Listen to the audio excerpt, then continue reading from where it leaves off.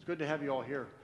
Uh, if there are any visitors, um, keep in mind that there's pew pads uh, on the inside, and if you're sitting by one, pass it on so the visitors have an opportunity to say hi. Uh, we'd love to hear from you.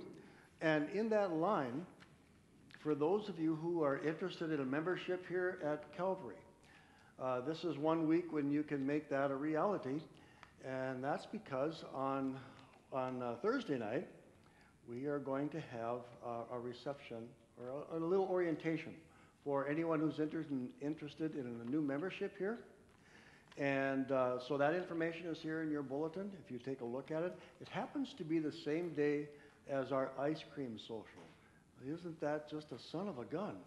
But anyway, um, it, they're both going to happen on the same evening. Now, if you're if you're interested in membership and you haven't received anything yet, because I think our letters have just gone out, please let us know because it's not too late. Give the office a call, and we'll certainly um, uh, make sure that you can become part of this uh, congregation. Uh, so I, I, mentioned the ice cream social. That's going to be from four to seven on Thursday, and that's that's become um, uh, a fairly regular and a highly popular event, so uh, please consider uh, that as well. And uh, also, you probably noticed there's, a, there's an insert in your bulletin about the call committee.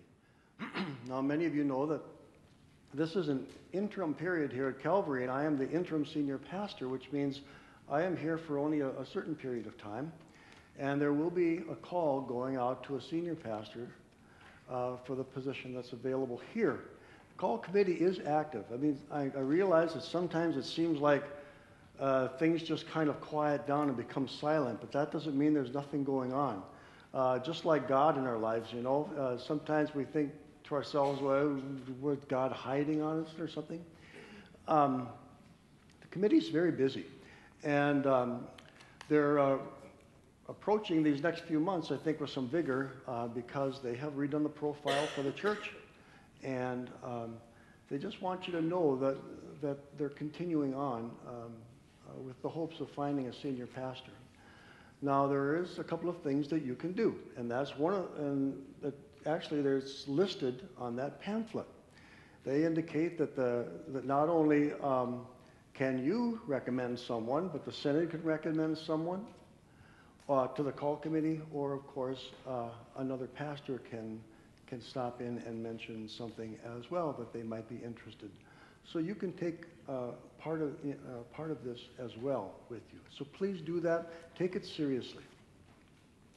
And uh, finally, I'd like to uh, mention our condolences to the family and friends of Helen Larson.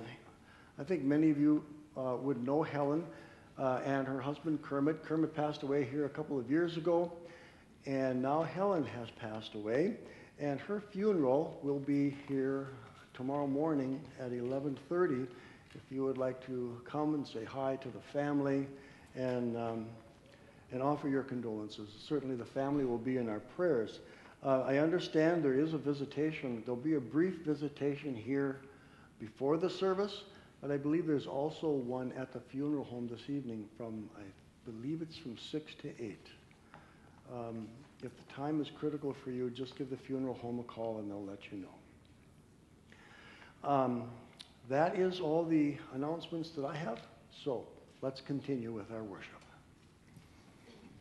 As we continue with the song We Gather, we'll be doing two songs in a row this morning. We Gather, and the new one that we just learned, uh, or we just went through, My Lighthouse. We'd ask you to rise during this one, and I'm going to ask you to sit during the second one so that you can follow along and learn. As you're able, please rise and join with us as we sing We Gather.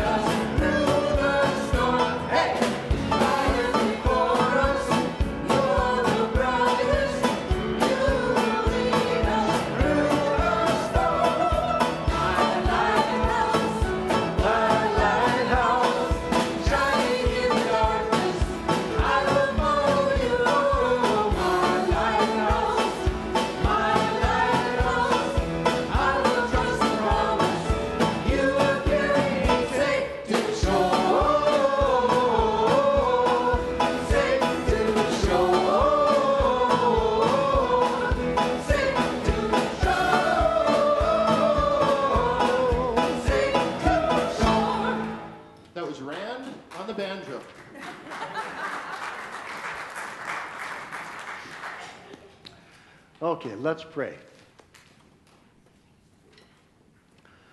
O God, from you come all holy desires, all good counsels, and, and all just works. So give to us, your servants, that peace which the world cannot give, that our hearts may be set to obey your commandments, and also that we, being defended from the fear of our enemies, may live in peace and quietness through Jesus Christ, our Savior and Lord. Amen. And now we'll have some special music.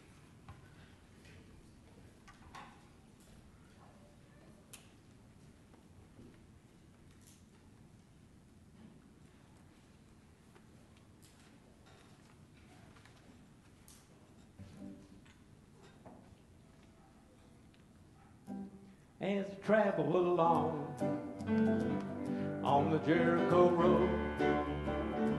Well, there's room for this too. brother don't carry no load. Just bring it to Christ. You sins you must confess on the Jericho road. Your precious heart he will bless. Well, on the Jericho road. Well, there's room for just two.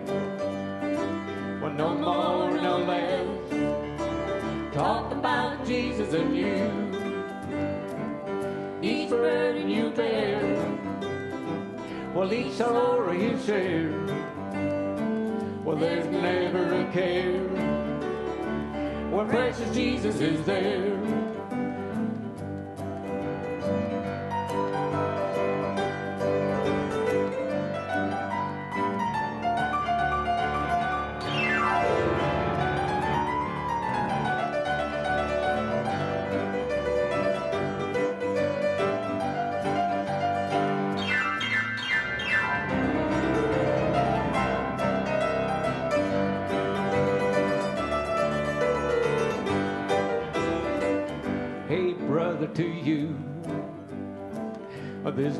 Message we bring, though hope may be gone, well, he'll call you the same. At Jesus' command, this judgment must fall on the Jericho road. He will answer your call well, on the Jericho road. Well, there's room for this too. Well, no more, no less. Talk about Jesus and you. Well, each burden you bear. Well, each sorrow you share. There's never a care. Precious Jesus is there.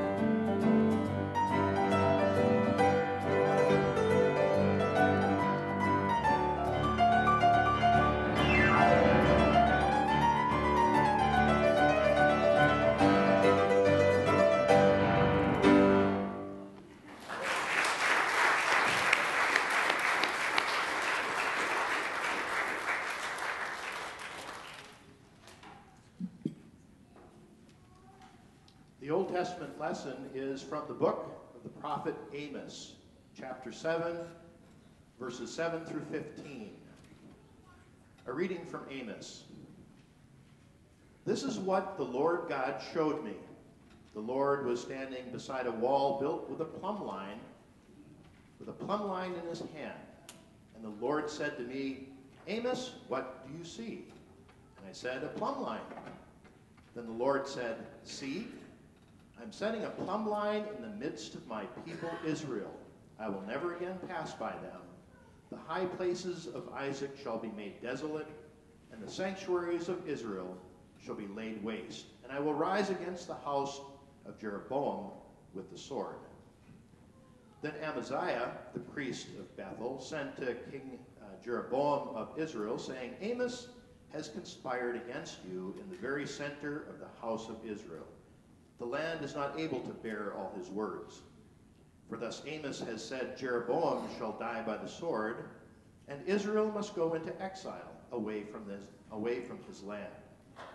And Amaziah said to Amos, O seer, go, flee away to the land of Judah. Earn your bread there and prophesy there. But never again prophesy at Bethel, for it is the king's sanctuary, and is a temple of the kingdom. Then Amos answered Amaziah, I am no prophet nor a prophet's son, but I am a herdsman and a dresser of sycamore trees. And the Lord took me from following the flock, and the Lord said to me, Go, prophesy to my people Israel. The word of the Lord. The New Testament lesson is from the Apostle Paul's letter to the Ephesians, chapter 1, verses 3 through 14. A reading from Ephesians. Blessed be the God and Father of our Lord Jesus Christ, who has blessed us in Christ with every spiritual blessing in the heavenly places, just as he chose us in Christ before the foundation of the world to be holy and blameless before him in love. He destined us for adoption as his children through Jesus Christ, according to the good pleasure of his will, to the praise of his glorious grace that he freely bestowed on us in the beloved. In him we have redemption through his blood, the forgiveness of our trespasses, according to the riches of his grace that he lavished on us. With all wisdom and insight, he has made known to us the mystery of his will, according to his good pleasure that he set forth in Christ, as a plan for the fullness of time to gather up all things in him, things in heaven and things on earth. In Christ we have also obtained an inheritance, having been destined according to the purpose of him who accomplishes all things according to his counsel and will, so that we who were the first to set our hope on Christ might live for the praise of his glory. In him you also, when you had heard the word of truth, the gospel of your sal- salvation, and had believed in him, were marked with the seal of the promised Holy Spirit. This is the pledge of our inheritance toward redemption as God's own people, to the praise of his glory. The word of the Lord. Thanks be to God. And if we have children that would like to come up for a children's message,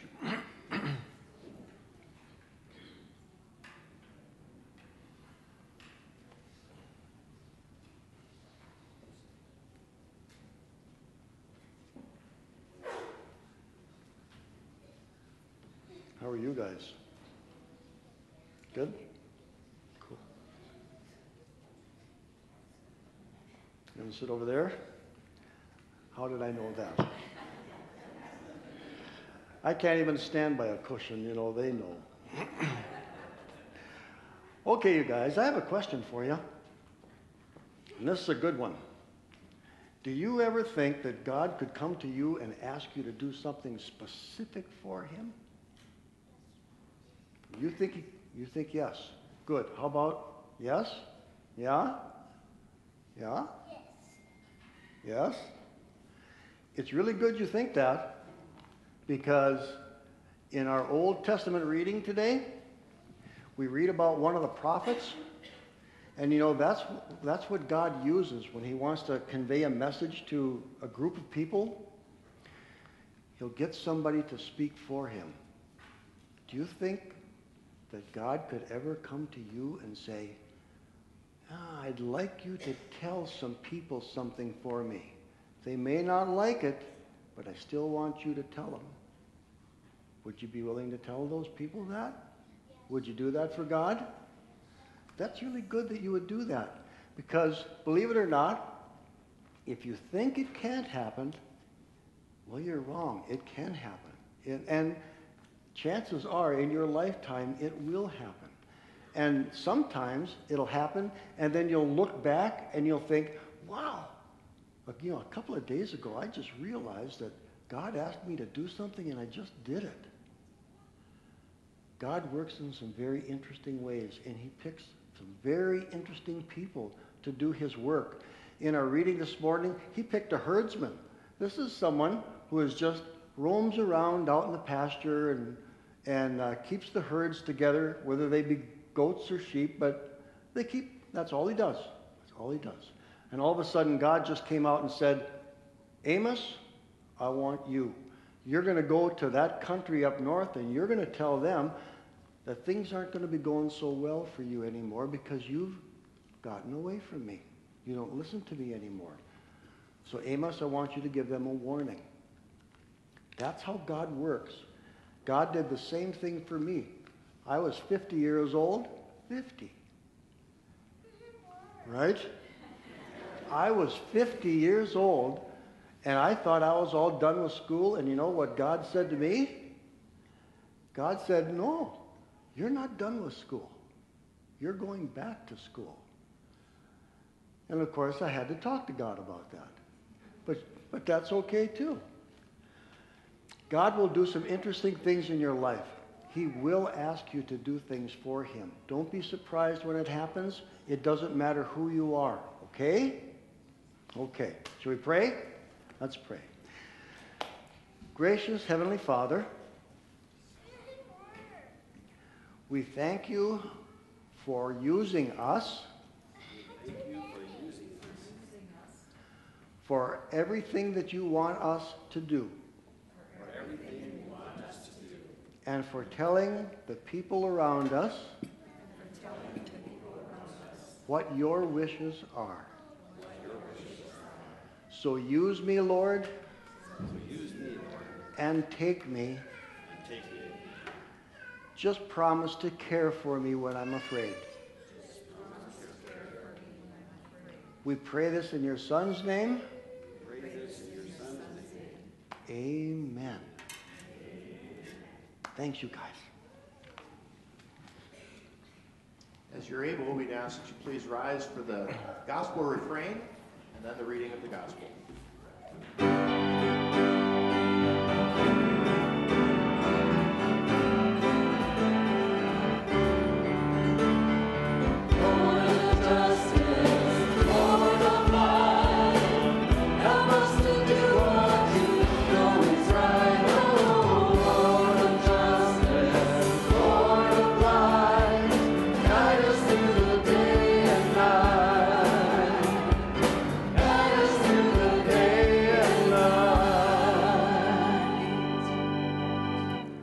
Gospel reading on this eighth Sunday after Pentecost is found in the sixth chapter of Mark.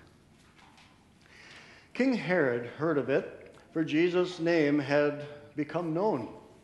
Some were saying, John the Baptizer has been raised from the dead, and for this reason these powers are at work in him. But others said, Ah, it's Elijah. And others said, It's a prophet like one of the prophets of old. But when Herod heard of it, he said, John, whom I beheaded, has been raised.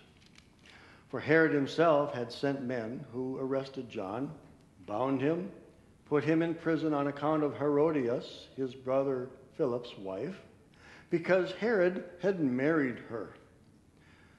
For John had been telling Herod, It's not lawful for you to have your brother's wife. And Herodias had a grudge against him and wanted to kill him.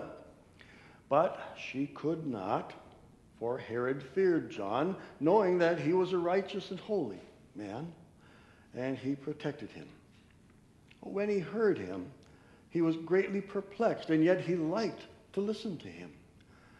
But an opportunity came when Herod, on his birthday, gave a banquet for his courtiers and officers and for the leaders of Galilee.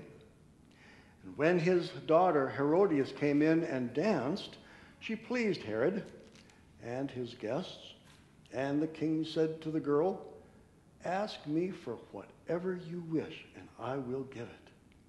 And he solemnly swore to her, Whatever you ask me, I will give you, even half of my kingdom. And she went out and said to her mother, What should I ask for? And she replied, The head of John the Baptizer. Well, immediately then she rushed back to the king and requested, I want you to give me at once the head of John the Baptizer on a platter. Well, the king was deeply grieved, yet out of regard of his oaths and for the guest, he did not want to confuse her or refuse her. Immediately, the king sent a soldier of the guard with orders to bring John's head. He went and beheaded him in the prison and brought his head on a platter and gave it to the girl. Then the girl gave it to her mother. And when his disciples heard about it, they came and took his body and laid it in the tomb. It's the gospel of our Lord. Thanks be to God. Please be seated.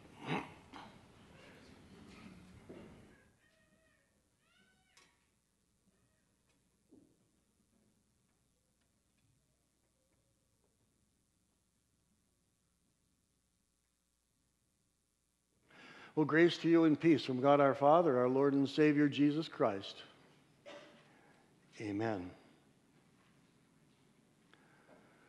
You know, we're awfully proud of our court system. It's said to be one of the greatest achievements in the world. It's the one place where the truth is spoken. Uh, we're sworn, in fact, we're sworn in with the very words, Do you solemnly uh, uh, do you solemnly swear to tell the truth, the whole truth, and nothing but the truth? And of course, some add, so help me God. It is a form of social justice that seems like such a good thing.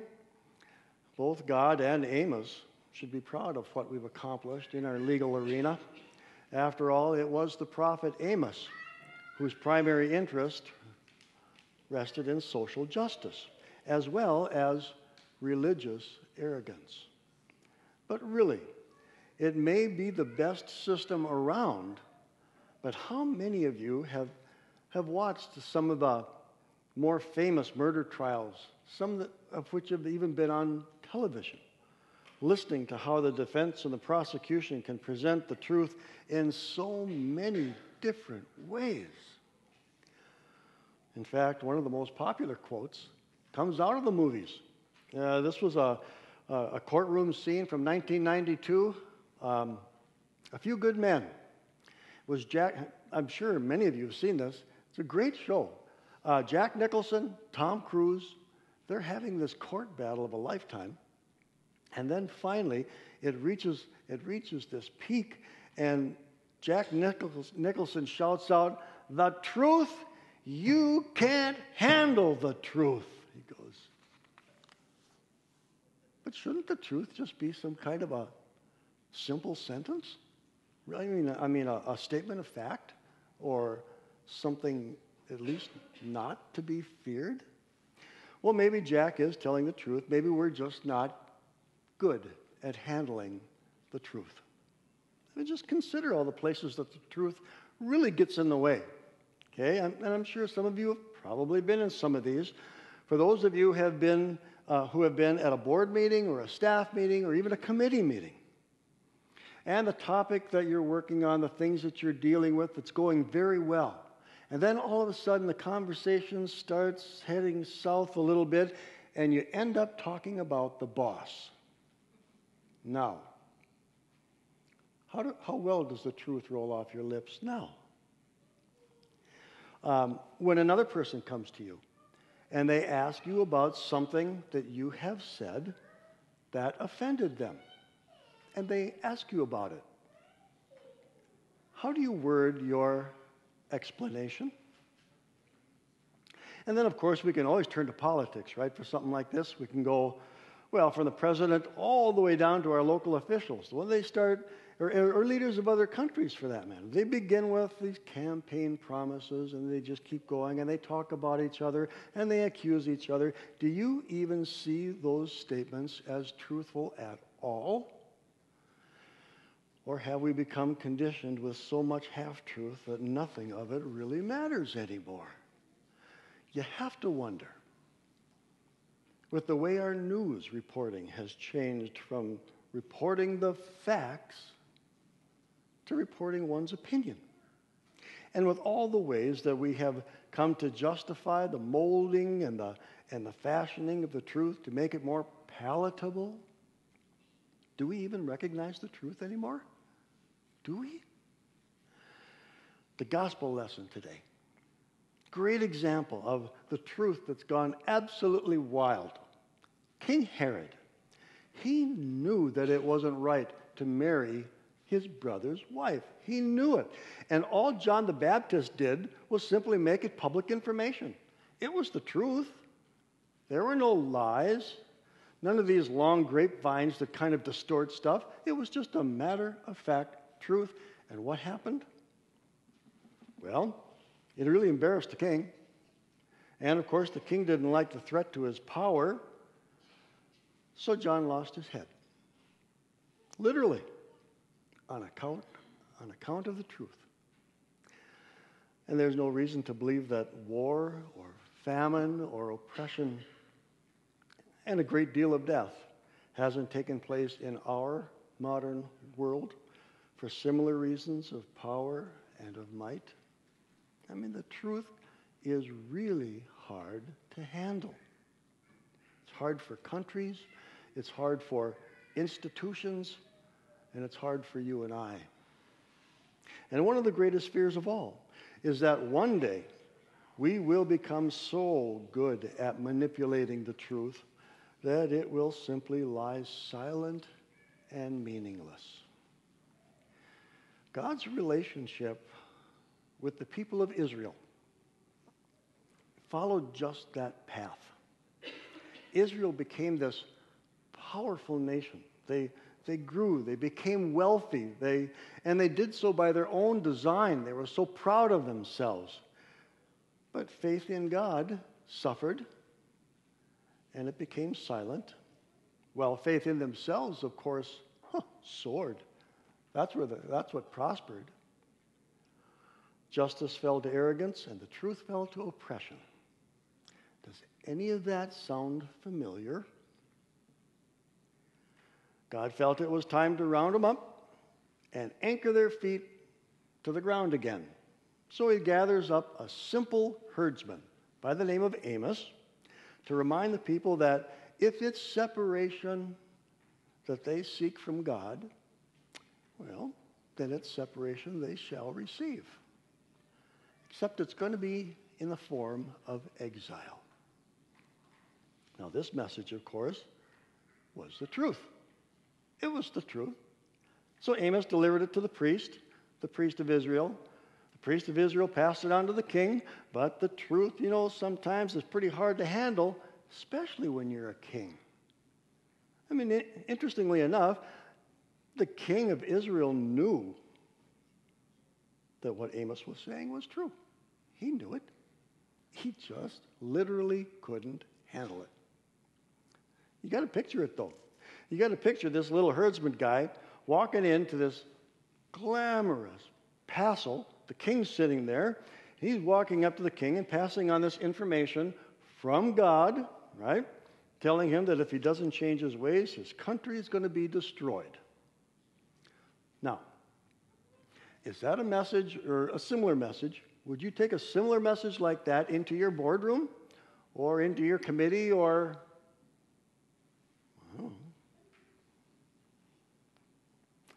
Remember, though, has to be the truth. Has to be the truth, not a half truth, not part of the truth, not some of the truth, not truth with a little bit of opinion in it, not some belief that you have, not opinion at all. The truth. So the king did what anyone would do under those circumstances. He just said, Move on. He ignored it. Get out of my country. Go prophesy someplace else. Here's the interesting thing, though. Uh, if you follow what happens to Israel, what Amos prophesied was definitely true, and it did come true, because 40 years later, Israel was destroyed by Assyria, and the people were exiled to that country. Happened. If you want to reground yourself in truth, the prophets are really a great place to go to, to spend some time because the words of God are indeed true. They're true, and it's just refreshing. It's refreshing to know that those very words that God spoke through the prophets are an actual window into what's important to God. You can actually, it's like you could see what God really wants. And all that God has offered us, everything, is truth.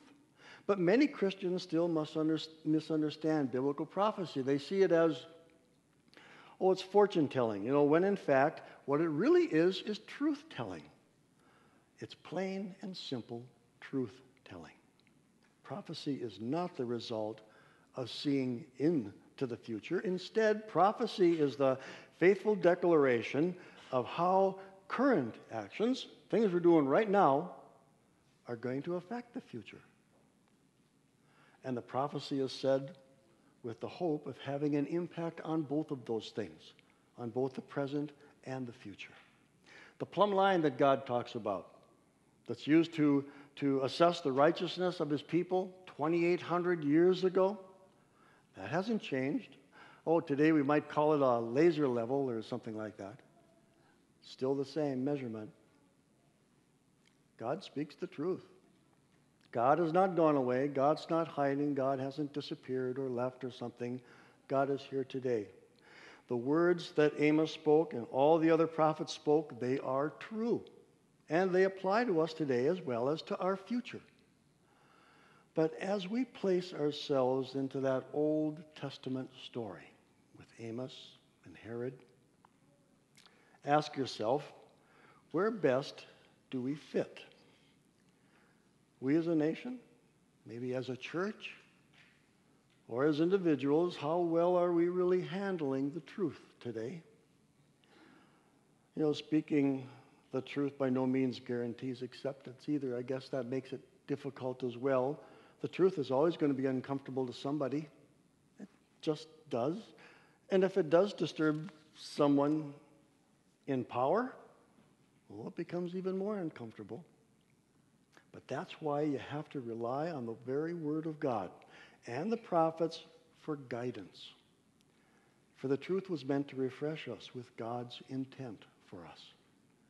So, the truth may be hard to handle, but it's certain to do one thing, and that is to prevent us from becoming a people who thinks that we, we have things so well under control that we no longer need Christ in our lives.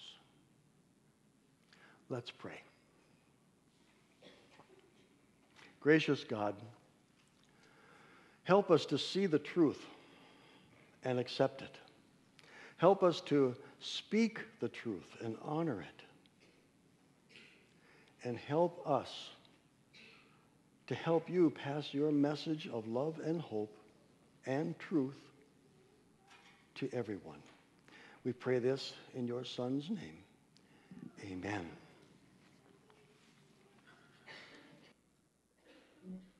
You may remain seated during this song. Lord of Justice.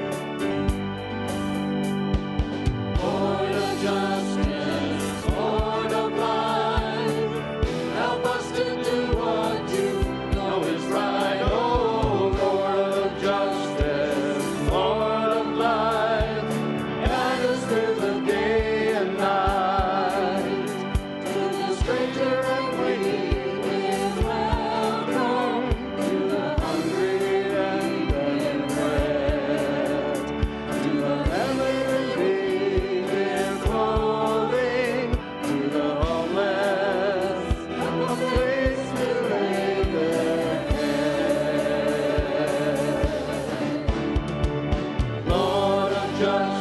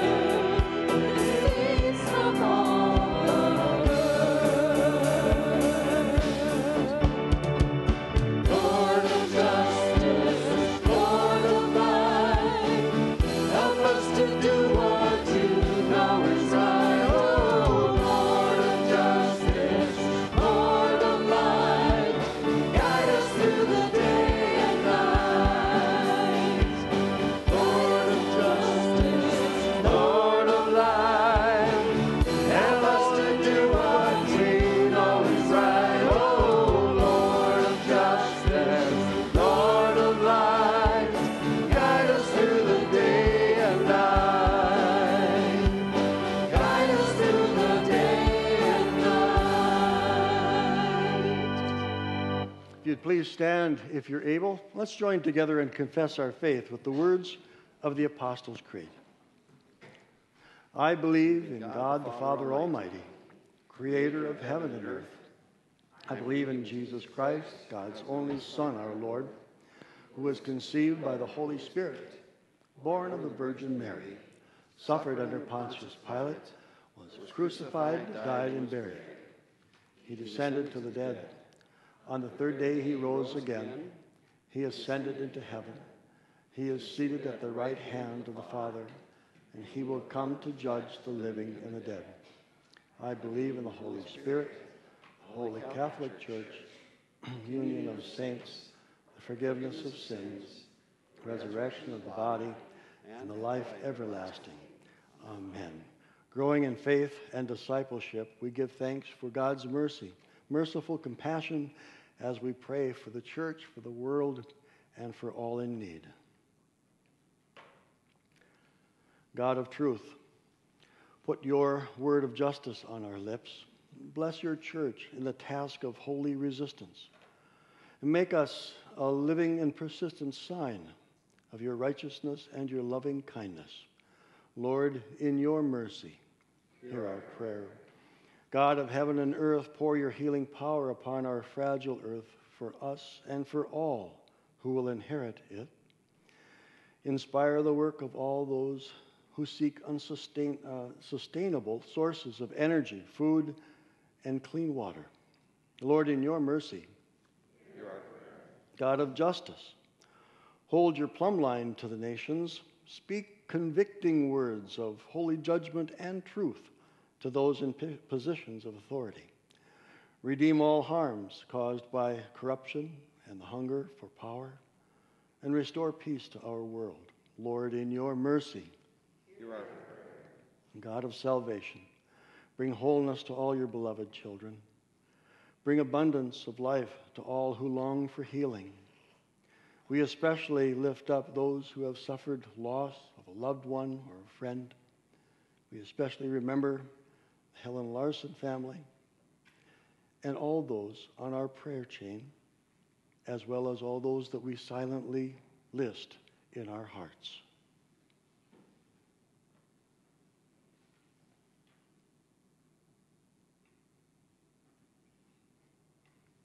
Gracious Lord, we seek to be a prayerful people.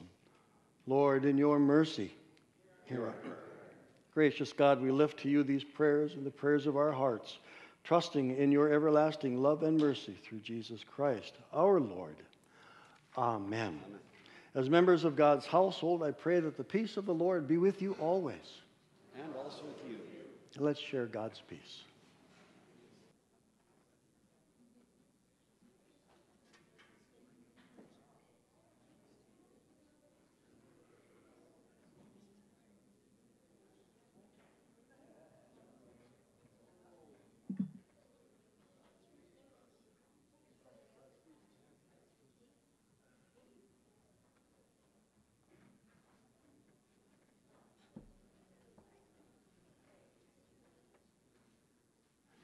And we'll continue with our morning offering.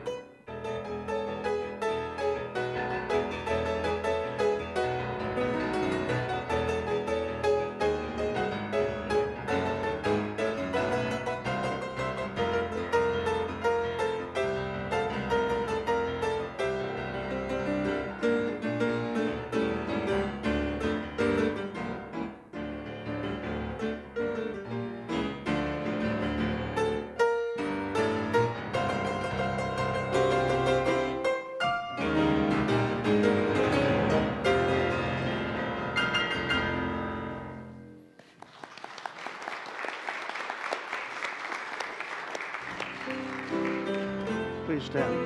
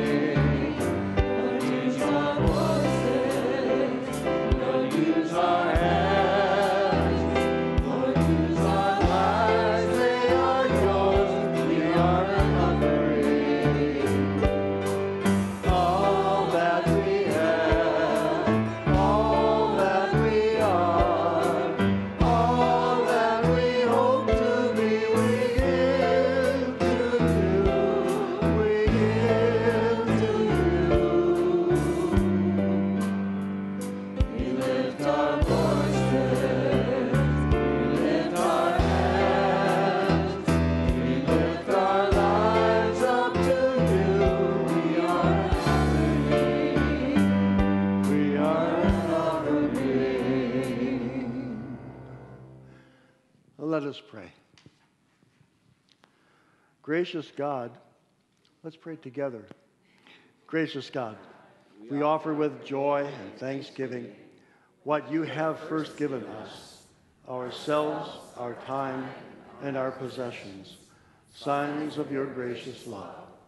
Receive for the sake of him who offered himself for us, Jesus Christ, our Savior. Amen.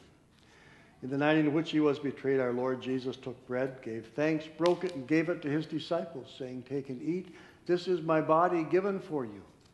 Do this for the remembrance of me. And again after supper, he took the cup, gave thanks, and gave it for all to drink, saying, This cup is a new covenant in my blood, shed for you and for all people for the forgiveness of sin. Do this for the remembrance of me. Heavenly Father, remember us in your kingdom and teach us to pray. Our Father, who art in heaven, hallowed be thy name. Thy kingdom come, thy will be done, on earth as it is in heaven. Give us this day our daily bread, and forgive us our trespasses, as we forgive those who trespass against us. And lead us not into temptation, but deliver us from evil. For thine is the kingdom, and the power, and the glory, forever and ever. So come, let us eat, for now the feast has been spread. Our Lord's table has been prepared, and all are welcome. Please be seated.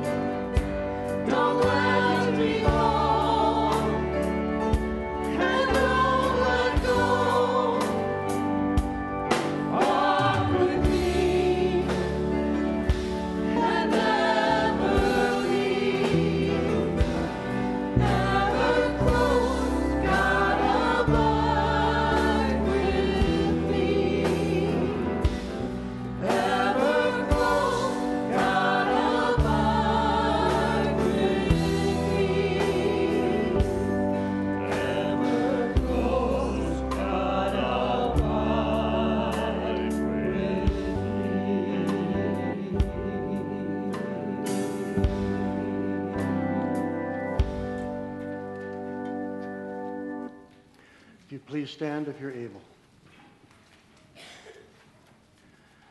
May the body and blood of our Lord Jesus Christ strengthen you and keep you in his grace.